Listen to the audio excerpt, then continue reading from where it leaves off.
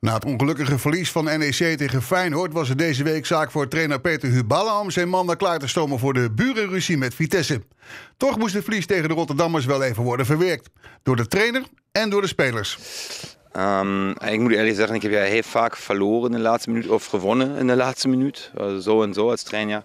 Maar dat heeft pijn gedaan, dat moet ik zeggen. Ik heb niet goed geslapen in, in, deze nacht. Ik slaap hier in Nijmegen nog heel goed. En, uh, um, maar Feyenoord was echt pijn. Niet dat wij... We kunnen natuurlijk ook zeggen, Feyenoord was verdiend. En, maar de 92e minuut, we hebben daar echt ook een stomme fout gedaan. We hebben de hele week over Jurgensen, tweede paal. En dan was de stresssituatie toch voor het team te groot.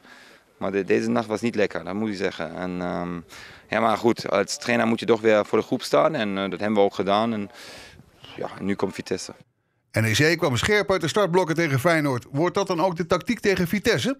Kijk, bij ons is natuurlijk iedere wedstrijd belangrijk. No? Omdat um, dat wordt een lange seizoen. Um, maar wat wij toch laten zien moeten, is scherpe en uh, scherpheid en uh, strijd en dit en dat. En dat verwachten de mensen ook van ons en dat verwacht ik ook van de spelers.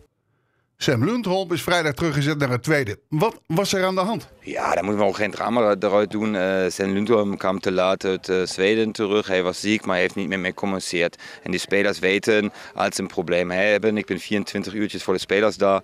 Um, als iemand ziek is en thuis blijft, dan moet hij eventjes maar de, de mobiel nemen, mee bellen en zeggen, trainer, ik heb een probleem en dan is het klaar. Voor mij is het belangrijkste discipline. Hij heeft een fout gedaan, dat weet hij ook.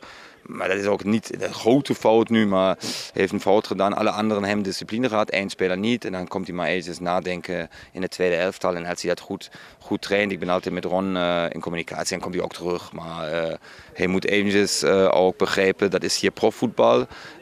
het gaat echt voor ons alle dat NEC in de eredivisie blijft. Dan moet iedereen meedoen. En als iemand niet meedoet, ja, dan kan hij ook maar eventjes over nadenken. Zondag om half 1 in het Goffertstadion in Nijmegen. NEC Vitesse.